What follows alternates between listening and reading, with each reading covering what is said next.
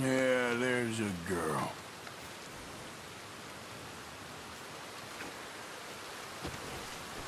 Okay, girl. Get up.